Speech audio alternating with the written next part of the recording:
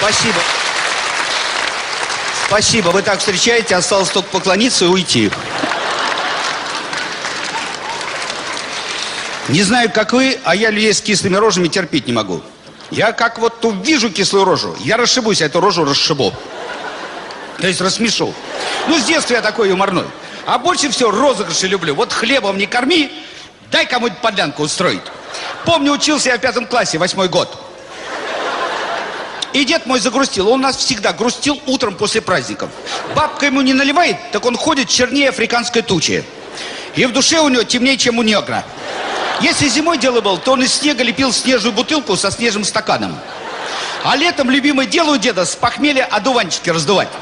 Сядет и дует, а я бегаю, рву ему эти одуванчики в соседнюю деревню 24 километра. Короче, решил я деда разыграть. Взял я один одуванчик и клеем обмазал. Так что его пух вертолетом не раздуешь. Дал деду склеенный одуванчик.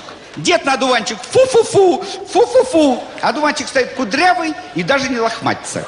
Я говорю, деда, ты дуй сильнее своим дулом-то.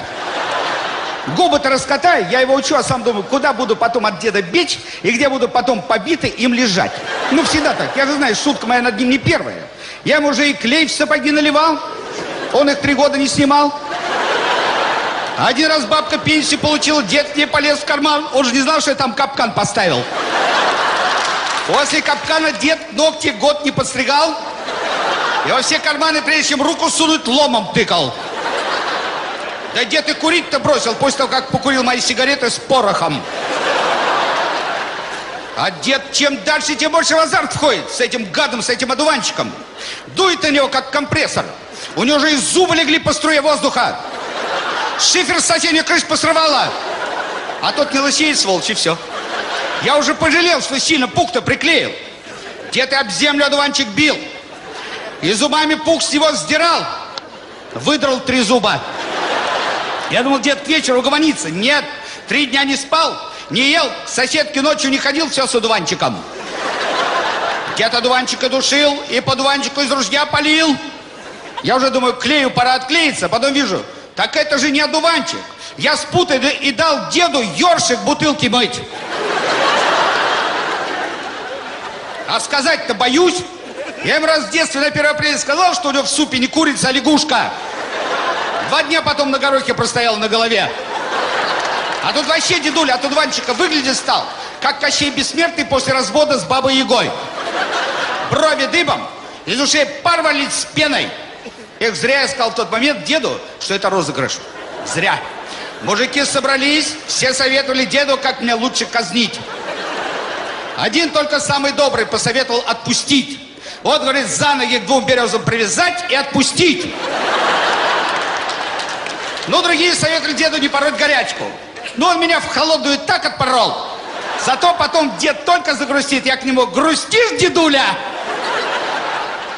Он, нет, сатана, все нормально, это же когда умру. Ты погоди, внучек, когда меня закопают, потом подходи меня разыгрывать, гаденыш.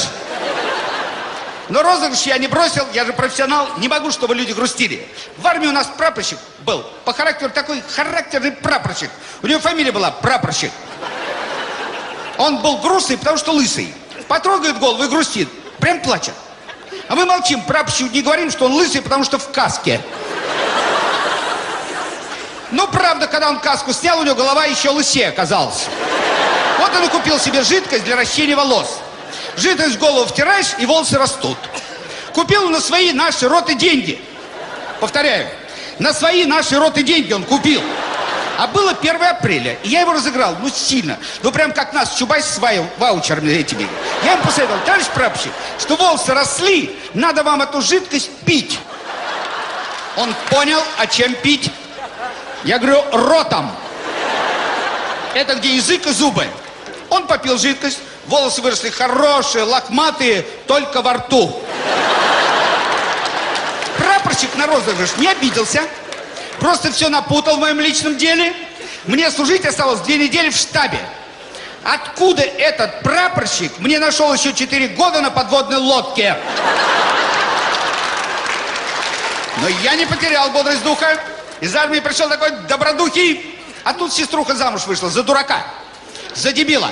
Ну, за доцента из института. Идет, преподает электронику, а как ток попал в розетку, объяснить мне не может. Ну, я в первый день для знакомства не сильно его разыграл. Вместо мочалки, куска поролона красного, я ему настоящий кирпич подложил. Жена ему спинку тиранула по самый копчик. Это я по крику его догадался. Он орал, кто-нибудь помогите мне успокоиться. Я помог. Во все его бутылки с коньяком тормозную жидкость залил. Но его и затормозило. Он лекцию в институте вместо двух часов трое суток читал. Вот тут он на меня обиделся. И я потом долго жил от сестры отдельно в однокомнатном гипсе. А этот гипс я еще потом три года носил. Строители в больнице ремонт делали, шутники оказались. Меня же туда 1 апреля привезли, да? Ну и когда врач отвернулся, они лечебный гипс поменяли на цемент особой прочности. Ну, строители, ну, молодцы. Так бы даже я не догадался. Ох, я бы с ними поработал. Ох, мы бы с ними по-крупному кого-то прикололи. Но не смог. Родственники меня только на четвертый год из гипса выдолбили.